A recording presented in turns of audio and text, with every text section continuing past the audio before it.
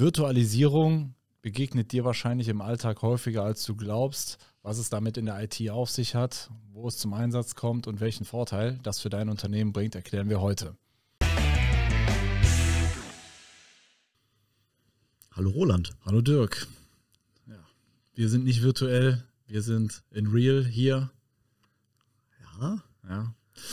Ähm, ich würde mich auch virtualisiert komisch fühlen. Das stimmt, ja. genau. Aber ähm, Virtualisierung ist natürlich so ein äh, großer Trend. Man kann mittlerweile in ja sehr viel virtuell machen. Also es ist inzwischen eigentlich schon mehr als ein Trend. Es ist eigentlich äh, Industriestandard. Es ist ja, Industriestandard. Es äh, nimmt aber auch jetzt mittlerweile im Privaten, in, in der Freizeit äh, greift es äh, immer mehr um sich. Virtual Reality, Augmented Reality. Ähm, dabei ist das jetzt eigentlich gar nicht so das, was wir nee, hier machen. Das meinen wir nicht. Genau. ähm, ja, Wann kommt denn Virtualisierung äh, so zum Einsatz? Erklär doch mal. Aber bitte nur in einem Satz ohne Fachchinesisch. In einem Satz ohne Fachchinesisch? Ah. Okay, also Virtualisierung ist im Endeffekt, ich habe einen Server, der tut aber so, als wäre er viele Server. Aha, okay. Heißt also, er, er simuliert quasi das genau. Vorhandensein von mehreren Servern. Genau. Okay. Warum? Das ist eigentlich wofür, so. Wofür brauche ich das? Ähm, also man macht es aus verschiedenen Gründen. Ähm, zum einen ist es äh, einfacher, wenn ich jetzt einen Server nehme, wo eine Applikation installiert ist. Es ist völlig egal, was das für eine Applikation ist. Datenbank, Mail-Server, Dateiserver, bla bla, irgendwas. Völlig mhm. egal. Ähm, es ist einfacher, diesen, äh, ich nenne es mal Container, diesen virtuellen Container, ähm, bei Modernisierung von Hardware äh, auf eine andere Hardware umzuziehen, weil ich dann quasi diesen virtuellen Server wie eine Datei einfach von A nach B schieben kann. Okay.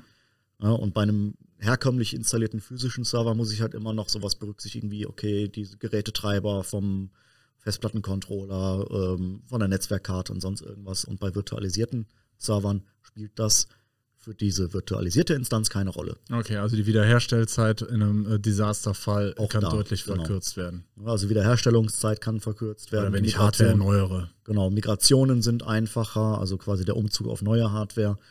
Und ähm, eine andere Möglichkeit oder ein anderer ja, sehr großer Vorteil, den ich halt bei Virtualisierung habe. Man hat ja heutzutage die Server, die haben relativ viel Leistung, muss man einfach sagen. Die haben viel Arbeitsspeicher, die haben viel Prozessorleistung. Und äh, das alles für eine einzelne Aufgabe zu verwenden, wäre Verschwendung.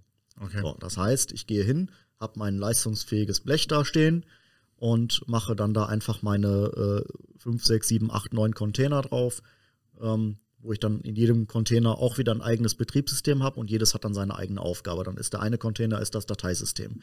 Der nächste Container ist Datenbank. Also sprich, ich weise zu Aufgaben genau. zu und stelle auch quasi die Kapazitäten bereit, dass Richtig. die Aufgabe von der Maschine erfüllt genau. werden kann. Und diese Ressourcen können jetzt auch nicht so ohne weiteres von jemand anders weggenommen werden. Heißt also, wenn ich jetzt hingehe und äh, möchte die Datenbank äh, so nutzen, wie ich mir das vorstelle, hat es keinen Einfluss äh, darauf, dass jemand äh, anders gerade unheimlich viele Mails verschickt. Die genau. Leistung äh, kann immer noch bereitgestellt genau. werden. Also man kann natürlich auch ist das auch wieder so ein ganz doofes Wort, überprovisionieren. Das heißt, ich kann, wenn ich jetzt zum Beispiel äh, einen Server habe, der hat 64 GB RAM, hardwaremäßig, mhm.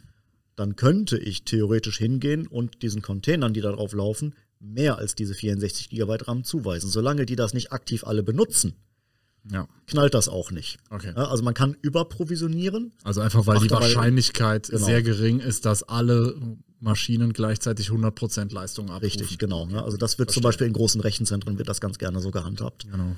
Ähm, was aber auch ein Riesenvorteil ist von diesem Unterteilen der Aufgaben, dass ich also im Prinzip mir ähm, viele kleinere Server sozusagen baue, die dann alle nur eine Aufgabe erfüllen hm. Wenn ich mit einer von diesen Aufgaben mal ein Problem haben sollte, ich habe einen Datenbankserver, der durch ein Software-Update irgendwie mal in die Grütze geht, nicht mehr läuft, dann kann ich mich um dieses Problem kümmern, den Restoren aus einer Sicherung, äh, ein Update einspielen, Fehlerbehebung, sonst irgendwas machen, mit dem Hersteller in Kontakt treten, von dem die Datenbank ja. kommt.